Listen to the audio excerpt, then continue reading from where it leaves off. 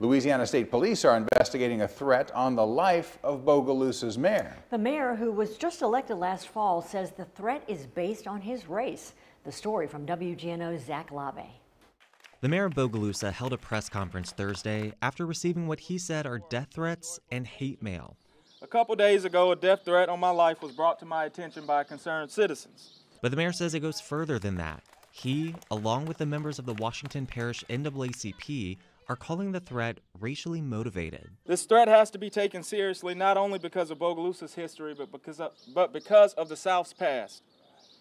This particular threat has a racial undertone, alluding to how black men's bodies were dumped in bodies of water in the South by terrorists decades ago. We would not tolerate bullying and intimidation tactics from the public, and it will be dealt with accordingly.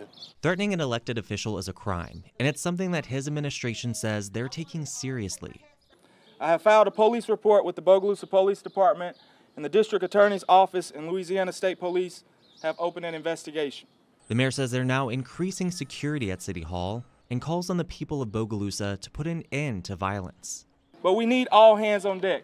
So get out and help us build a better Bogalusa. Zach Labe, WGNO News. And there have been multiple threats against the mayor, but he says he couldn't comment any further because of an ongoing investigation.